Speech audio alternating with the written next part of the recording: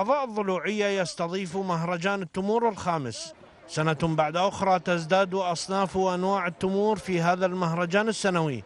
حتى وصلت تلك الأصناف في هذه السنة إلى ما يقارب المئة وسبعين صنفا بالإضافة إلى الأصناف النادرة والجديدة.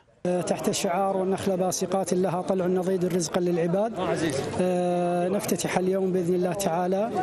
آه المؤتمر أو المهرجان الخامس للتمور في الضلوعية.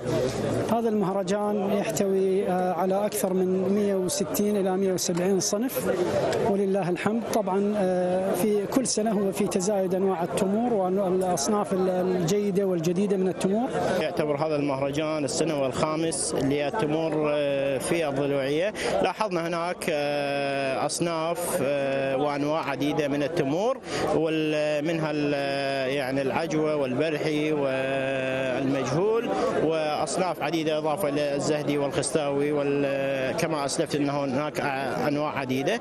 مهرجانات التمور السنوية بدأت تعطي دافعا قويا ومعنويا للكثير من المهتمين بإعادة زراعتها من جديد والاهتمام بها وإعادتها لسابق عهدها وما ساعدهم في ذلك تربة وبيئة قضاء الضلوعية.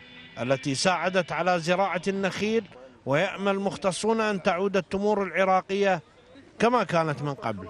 مدينة الضلوعية تعتبر مدينة شبه جزيرة كما يعلم الجميع يحيطها نهر دجلة من ثلاث جهات فتعتبر أرض خصبة للزراعة ومكان جيد لزراعة التمور وهي تعتبر من المواطن الأولى للتمور ويوجد فيها أنواع كثيرة من التمور. هنا الحقيقة الدولة والحكومة مدعوان إلى الاهتمام ودعم المزارعين من أجل أن يغرسون النخيل من جديد لأن العراق بلد النخيل.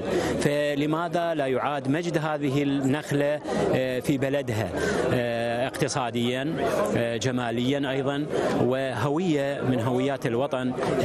النخلة يعني عمتنا النخلة تحتاج إلى الاهتمام الذي يليق بها. ربما استطاع البعض من مزارعي النخيل الحفاظ على هذه الثروة المهمة من خلال تشجيع أقرانهم على تطوير وتهجين التمور التي لم تكن متوفرة من قبل.